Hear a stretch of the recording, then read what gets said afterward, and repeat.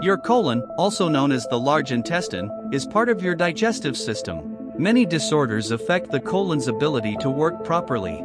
Let us briefly talk about one of these colon disorders inflammatory bowel disease, IBD. Inflammatory bowel disease is a term for two colons conditions, Crohn's disease and ulcerative colitis, that are characterized by chronic inflammation of the gastrointestinal GI tract. Prolonged inflammation results in damage to the GI tract. What are the common symptoms of IBD? They are persistent diarrhea, abdominal pain, rectal bleeding, bloody stools, weight loss, fatigue.